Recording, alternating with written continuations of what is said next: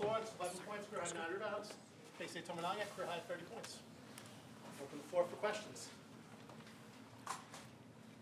Keisei, when did you know that this was going to be a good day for you? Did you feel yourself just getting into a rhythm, um, maybe more so than you have in previous games. You've had big games, but it seemed like you're on a different level this time. yeah, I think like our movement the, at the beginning of the game is it was very like good. So, like we share the ball each other, so that's why I think I can get rhythm very easily. Jamarques, when a guy's feeling it like Keisei is, I mean, do you just give him the ball, let him cook? Uh, yeah, I mean, you know, most of our plays is for K-Say, you know, get him going. So, and you know, when he's going, you see how that goes. So, that was the plan. Going through your head on that last three, you hit right in front of Fred, deep in the shot clock uh, at the very end of the game. Um, Sam passed me the ball in rhythm.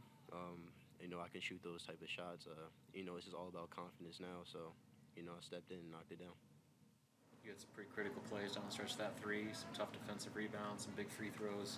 Did you feel that this was kind of a step forward for you, just as far as your confidence and doing that in that moment in Big Ten play? Yeah, um, definitely me stepping up, grabbing defensive boards. Uh, you know, I kind of lack of that. So, definitely the defensive boards. I got to step up on those. Y'all had lost, and this is for either of you. Y'all had lost four straight. Just how big does this feel after you know things didn't go your way for like two weeks? happens. You know, we just uh, we still believe. You know, we still believe in you know what we can do, um, what we can accomplish. You know, we just um, those four games. It was rough, but you know we just stayed through it.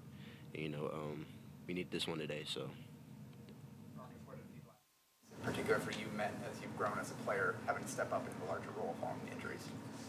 um, definitely with uh, Juwan and E man out. So uh, defensive defensive end gotta crank it up. Uh, you know, a notch a lot. So um, you know, just me being a better defender. That's a big thing.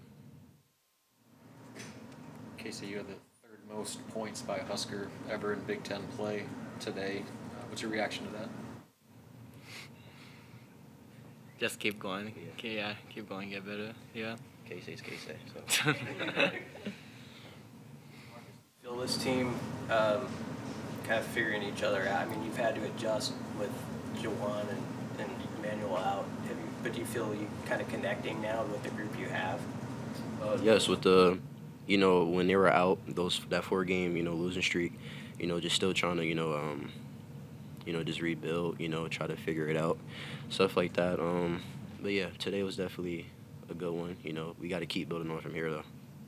Feel like a, a young guy anymore? Is there a point where you got you're, you're just part of it now? Uh, I feel like that now.